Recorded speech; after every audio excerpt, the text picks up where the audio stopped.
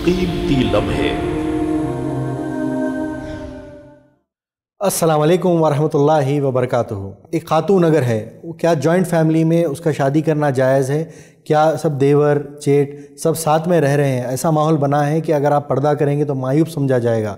और उसी माहौल में आपको रहना है और जेठ की, देवर की सबकी खिदमत करना है, ससुराल वालों की खिदमत करना है। तो उस तरीके से अगर कोई रिश्ता आए या फिर ऐसे घर में शादी हो तो उस पर औरत क्या करे? उसकी शराइ हैसियत क्या है? आइए शेख से हम जानते हैं। वालेकुम अस्सलाम वरहमतुल्लाहि वबरकातुहू। हामिदन मुसलिन अम्माबाद अज़हर भाई, आपने बहुत ही अच्छा सवाल किया क्योंकि आज हमारे सोसाइटी में ऐसे हो रहा है। यानी जॉइंट फैमिली है और एक सिंगल फैमिली है। तो जॉइंट फैमिली बेहतर है या सिंगल फैमिली बेहतर है? ये भी एक सवाल हो सकता है। जॉइंट फैमिली में कोई निकाह करना चाहे तो निकाह करना जायज़ है नहीं, ये भी सवाल हो सकता है। बिल्कुल, जहाँ जॉइंट फैमिली होती है अगर उस जॉइंट फैमिली के अंदर एक भाई है, और एक भाई है, और एक भाई है, और एक भाई भी है, ये तीन भाइयों का निकाह हो चुका है, एक भाई का निकाह नहीं हुआ है। अभी तीन भाइयों की वहाँ रहती हैं। समझा अब ये घर इतना छोटा, इतना मुख्तसर है कि जब भी अब रूम से बाहर निकलेंगे, किसी न किसी का सामना करना पड़ रहा है। बेपर्दगी होती है। और कभी देवर सामने आ रहा है, कभी जेठ सामने आ रहा है, कभी फुला हो रहा है, कभी फुला हो रहा है। तो बेपर्दगी हो रही है तो ऐसी सूरत में अलग होना बेटर है, अलग रहना बेहतर है। लेकिन हमने ऐसे कमेंट फैमिली को भी देखा है कि यानी वो हद तल इम्कान पर्दे का पूरा अहतमाम करते हैं। तो उसमें पर्दे के साथ रहने में कोई हरज की बात नहीं है। अगर सब लोग पर्दा करने वाले हैं, पर्दे को अच्छा समझते हैं तो मिलजुल कर रहना ये बेटर है। लेकिन कुछ लोग पर्दे को पसंद करते हैं, कुछ लोग पसंद नहीं करते हैं, कुछ लोग पर्दे का बहाना बनाकर कुछ और करते हैं तो लिहाजा ऐसी सूरत में अलग होना ही बेटर रहता है। सिंगल फैमिली बनाना बेहतर रहता है।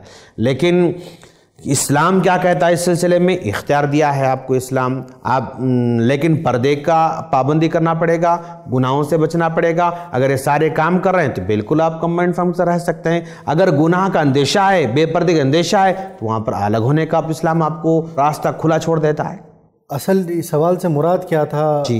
जी है उनका ये कि क्या उनको ससुराल वालों की भी खिदमत करने का, इन पर फ़र्ज़ है? जेठ की, देवर की इनकी खिदमत करना, सास ससुर की खिदमत करना, इनके, क्या इन पर फ़र्ज़ है? क्या ज़बरदस्ती किया जा सकता है? और बाज़ ऐसे भी देखा जाता है कि शोहर बाहर होता है बीवी को यहीं छोड़ कर जाते हैं। जी हाँ और जी वो अपने ससुराल वालों की खिदमत के लिए रखी जाती है। जी हाँ जी इन हाँ। सूरत में क्या करें? वो अपने घर पे रहना बेहतर है बिल्कुल सही कहा आपने। आज हमारे पास ऐसे हालात हैं चार भाइयाँ हैं पहले भाई की निकाह हो जाता है और निकाह करके बाहर चला जाता है। अब ये लड़की बेचारी अपने तीन देवर जो भी हैं उन तमाम खिदमत करना पड़ता है और ससुराल खिदमत करना पड़ता है। उसको ना माँ बाप के पास जाने दिया जाता है ना मुलाकात करने आने दिया जाता है। तो इस तरह के हालात भी हैं जो कि दुरुस्त नहीं हैं। अगर शौहर है तो शौहर के साथ रहना उसका हक है और उस पर वाजिब है, ज़रूरी है।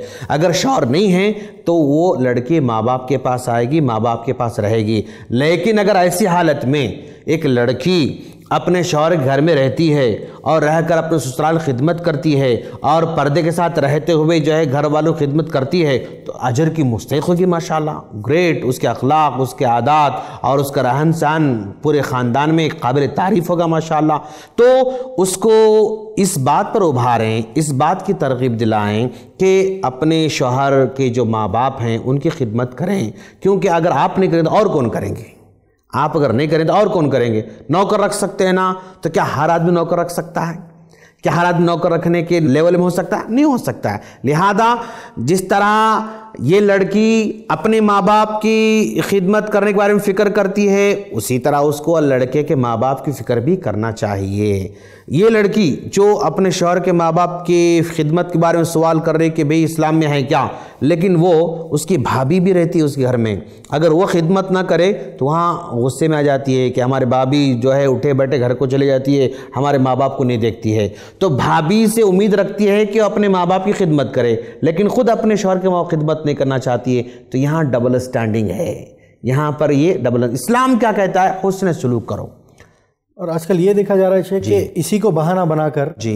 जो है लड़कियाँ अपने घरों से अलग होने की देख रही है कि हमारा फ़र्ज़ नहीं है जो है ससुराल वाले बिल्कुल बिल्कुल ऐसे हो रहा है बिल्कुल ऐसे हो रहा है। यानी अगर कोई। अगर कोई लड़की इस तरह फरार होना चाहती है खिदमत से और सवाब से अजर से तो गोया वो आखिरत से महरूम होना चाह रही है। जो अजर का उसके पास मौका था जो सवाब कामने का मौका था ख़ानदान को जोड़ कर रखने का उसके पास मौका था वो अपने हाथों से खो ले रही है। शायद फिर आगे चलकर वो भी प्रॉब्लम का सामना कर सकती नहीं बोल नहीं बोल सकते हम।